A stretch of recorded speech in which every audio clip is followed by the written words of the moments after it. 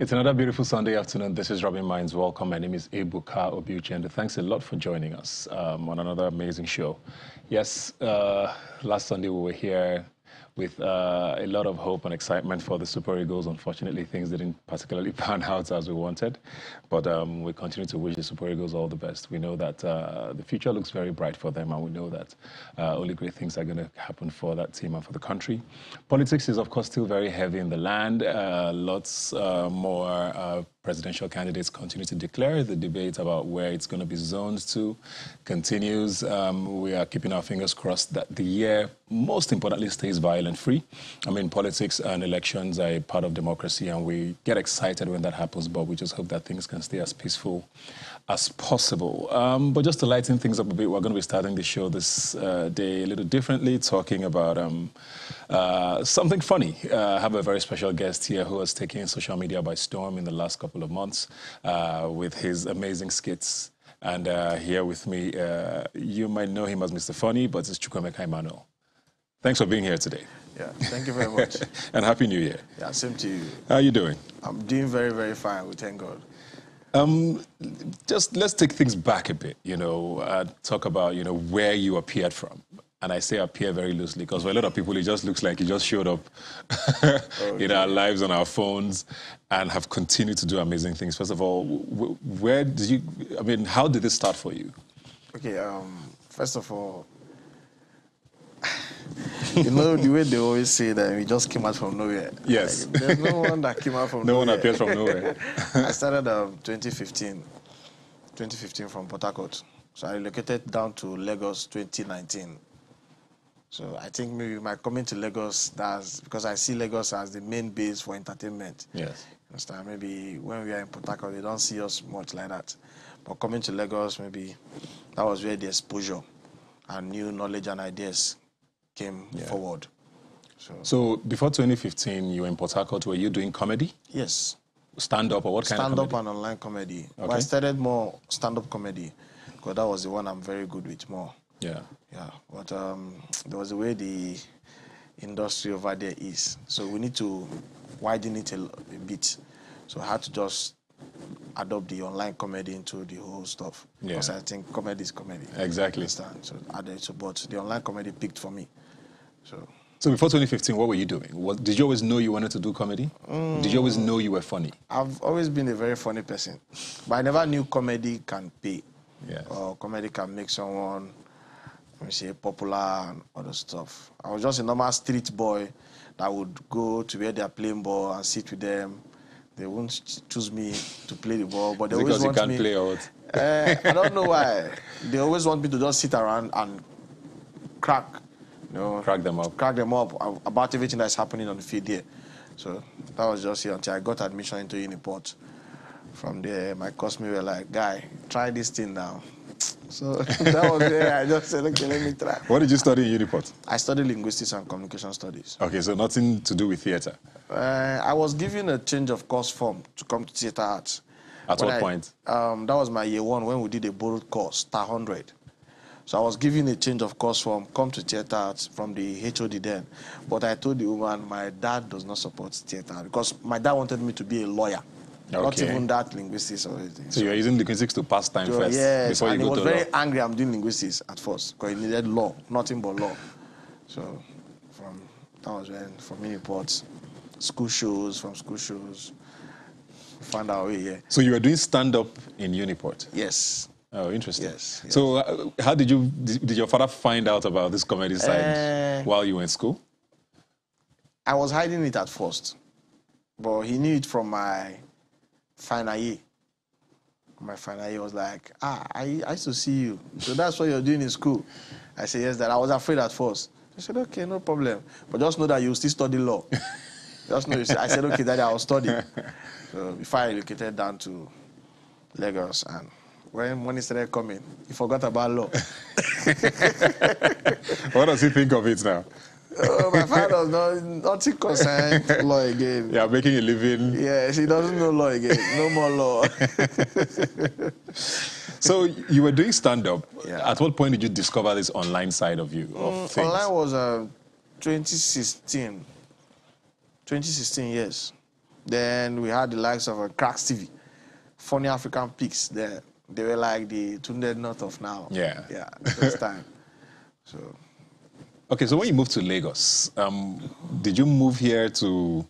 Was it to continue online? Did you want to do stand up? Did you want to get into TV? What was exactly your mission when you moved? when here? I came to Lagos 2019, early 2019, uh, first of all, I was trying to get into some shows for the stand-up aspect, but it was very hard.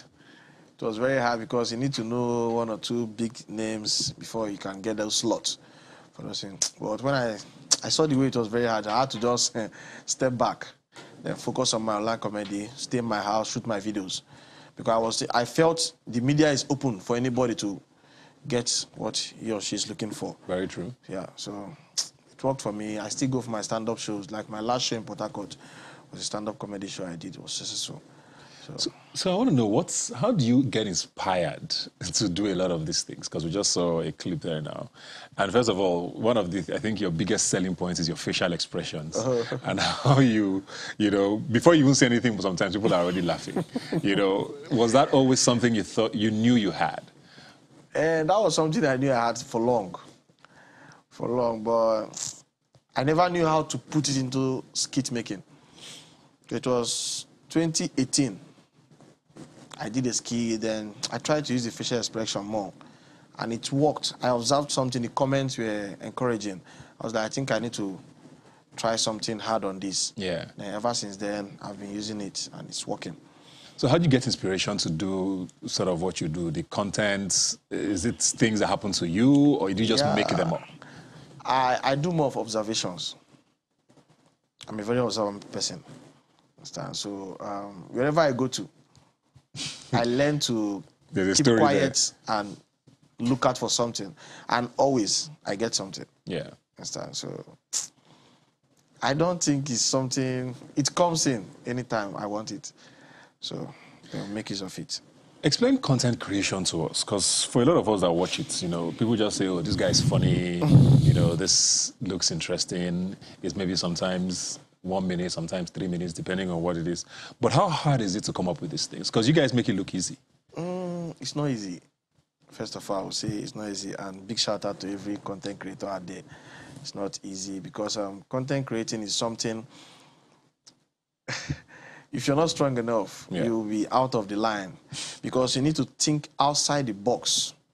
We have so many content creators, understand? So, um, and we have people that think alike.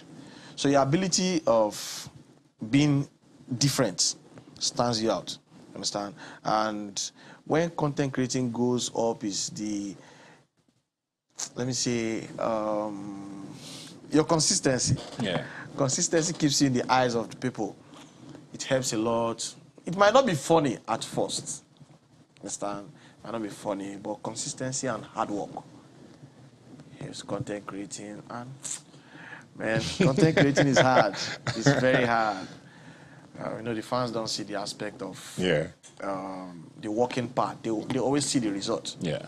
They don't see that. And it just looks aspect of- very easy. If it's ah, this guy ah, but you don't know what will pass through. Yeah. You understand? So how do you know something is going to be funny? Like when you shoot something, are there people you sort of say, okay, check this thing out, or do you put it out and just hope I don't just put out the best? content like that.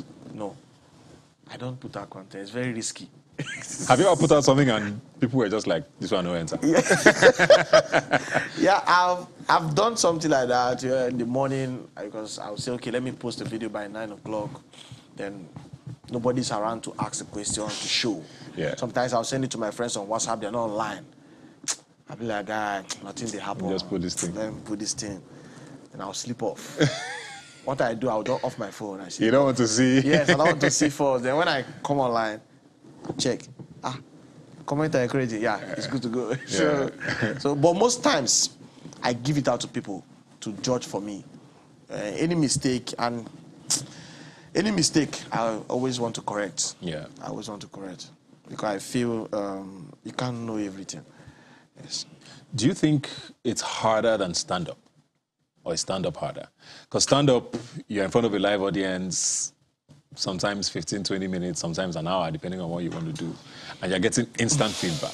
First But content creation, all- of course, takes a process. what do you think is harder? First of all, I would say the end product Yeah. of the two is laughter. Number one. But um, a stand-up comedian, first of all, you need to be bold. You need to be bold. Like you never can tell the audience you're going to talk to. Understand? We have some stiff audience. We have some audience that they would never laugh. You understand? It takes your courage to just go in and do your thing and come out. So content creating, man, to me the two is hard. no one is. So no do you think do you think content creation is a career now? Because like you said with your dad, for example, he's slowly he's understood it now. Maybe because you're making money, you're not asking him for money. That's fine. But do you think because a lot of people still feel like, what are you people even doing in this place? If Instagram goes off now, what's going to happen to you people? You know, do you think that's a, an actual career path? Um, first of all, first of all, I want to say thank you to the social media. thank you very much. God bless you. oh man, content creating, it's a good job. First of all, that's what I have to say, man. It's not only Instagram. That's the mistake people fail to understand. It's not only Instagram. We have the Facebook. We have the TikTok. Right now, I can boldly say TikTok is pulling it Much more even than Instagram. Yeah. And we have the YouTube. Understand? Instagram is just um, is the main base because you get to meet the higher audience there. But there's a massive audience in Facebook. Understand? And Facebook is the one that is even monetized. Not even the Instagram. yeah. Understand? And the YouTube is monetized. So to me, if tomorrow Instagram should not be there again, I still have my Facebook that will pay me and my YouTube that will pay me. So content creation right now, man, to me it's a career. It's a career. It has helped so many people. Do you plan on sort of moving this into like mainstream Nollywood, for example? Because a lot of people, we've had, I've had a few content creators here who have come on and, you know, they've said that some of them went into skit making because they, they've auditioned for movies several times, they didn't get roles. Is this something you're trying to transition to? No, me, I've never point. gone for any audition before. I've never gone for any audition. But um, most movie people, they are calling me for their set. Set now. But I, know, I went for one um, in Abuja last week. Understand? So, but most times, some skit makers, I can see most of them, they are pulling up some movies.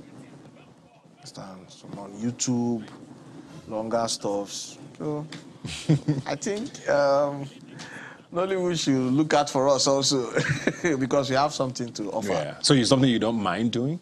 I don't mind. I don't mind. Yes, Yeah. I don't mind doing it. I'm just looking at um, one of your skits now, and um, I want to talk about you know Nigeria as a whole. You know, we we went through the phase last year up until this year when Twitter was banned. You know, we've, we we live in a country where you never really know what the policy is going to be tomorrow, and people tend to rely on a like you to take the burden.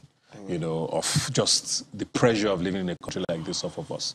Um, what are your thoughts on sort of entertainment as a whole and where it's going and what government should be doing, you know, with entertainment? Um, first of all, I think um, entertainment and um, let me say entertainment in general is the best in Nigeria. How's right now? Yes, right now. But I don't know. the Super Eagles, but until that was until We'll, last. we'll talk that one they will come back. but for now, entertainment is the highest thing I can say I'm proud of my country. So, but I don't, I don't see the government looking into that aspect. They don't see it as anything. So, but instead, um, they go against the entertainers. yeah. You understand? Trying to manipulate on us some kind of rules and regulations, the police, all this stuff. So I think the government needs to calm down and come into terms with enter- entertainment bodies because so many things are going on Yeah. that they don't know about. You understand? So many things that, that could help this country. Yeah. Yeah. Who are some of your favorite people in the in your industry now? I want to call it content creation or comedy content creation because there's a lot of you now, and you know sometimes people just wonder. These people are everywhere. How? I mean, for you, for you to have broken out of that Um, mass of people, I are there don't people have any you? favorite content creator. Yeah. I only have um, favorite Nollywood actors. Okay. Yeah. Why don't you have any favorites content creators? I don't see anybody there I look up to. Okay. So, Even there are before you people- started. Yes.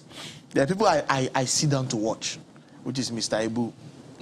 You understand? Chasi People compare both of you a lot. Yeah, Not because you look alike, eh, but just guy, your facial expressions and I, how. he- I watched that guy from uh, primary school. yes.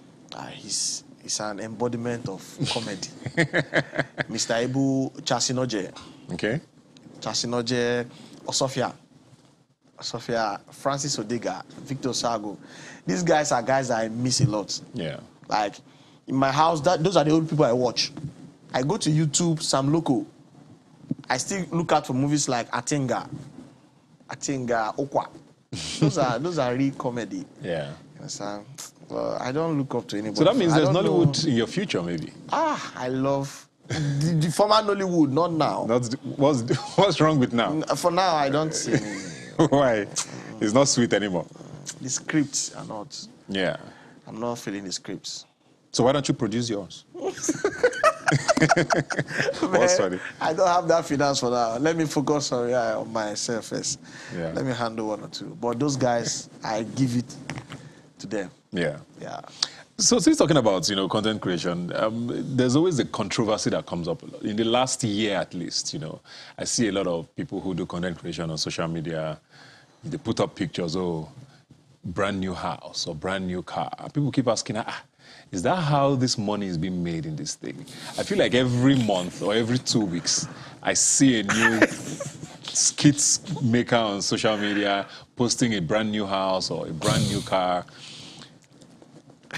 do you find people because people always question ah now una dey now so una dey make the money so explain this thing to us Okay. From my own point of view. Okay. Um, I see so many things people do comment and say, like some people be like, ah, these guys are into fraud. Mm-hmm. Other stuff. First of all, I don't understand how I'll be doing fraud. Then I'll be consistent with my career to this extent. It won't work. Con- that's why I said, first of all, content creation is a career now. It's paying very well yeah why many citizens of this country don't know about it is because of the government, first of all. I just wish the government can just put an eye into it and invest into it.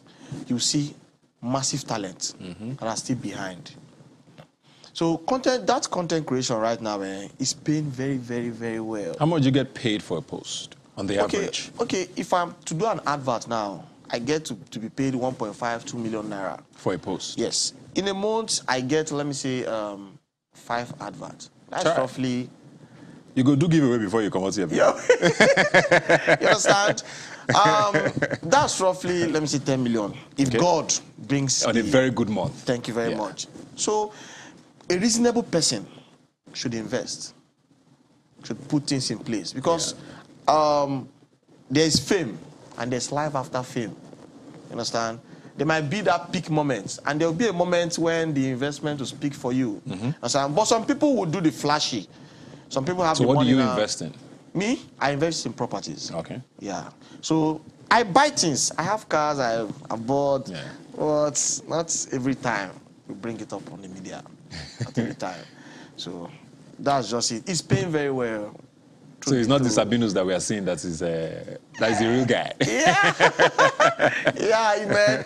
It has helped so many youths. yes But but I completely agree with you, but I also understand people trying to question to understand, That's the thing. you know, how, how it's so lucrative. That's the know? thing. Like YouTube now. Yes. Let me say for YouTube now, that people YouTube pays roughly 15 to 20 million naira every month. Yeah. Nobody knows about it. So tomorrow, if that person should buy a house, you say it's fraud. Mm-hmm. No, now, no, now, no, no, no, no. It doesn't work that way. It doesn't work that way at all. Okay. Well, good luck. Congratulations on everything. I mean, you're doing amazing. You I feel like I see a new skit from you every time I put on either Instagram or Twitter, or you're just constantly, you know, trying out material. I think Thank that takes a lot of talent. Congrats and good luck with everything. I hope to see you in Nollywood soon. the opportunity is there, I'll, I'll grab it. Definitely. We'll take a quick break now and come back. Please don't go away.